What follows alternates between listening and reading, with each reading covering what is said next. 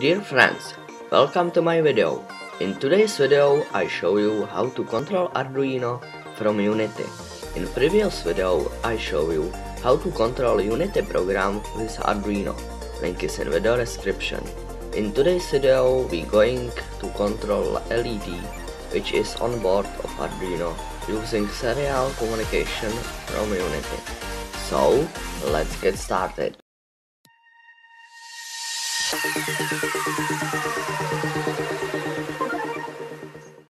Hi, I am Electroni and this channel is all about electro, chem and science experiments.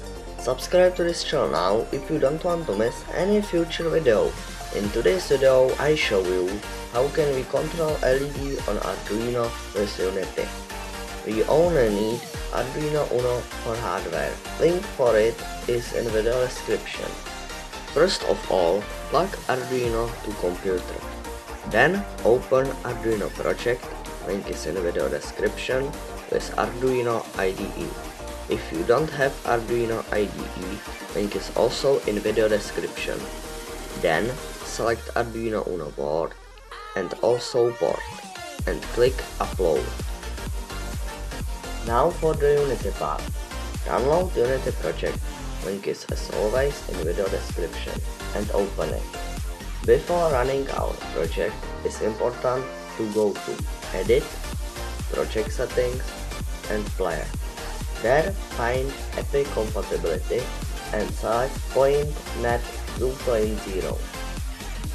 Then open LED script and change this to your port to where you connect your Arduino. You can find it in Arduino IDE. Final step is clicking this play button. After start, there as you can see, it's two buttons. If I click on button, LED on Arduino turns on. And if I click to off button, LED turns off. It's really cool. This project demonstrates communication between Arduino and Unity. All links for the parts and project folder are in video description.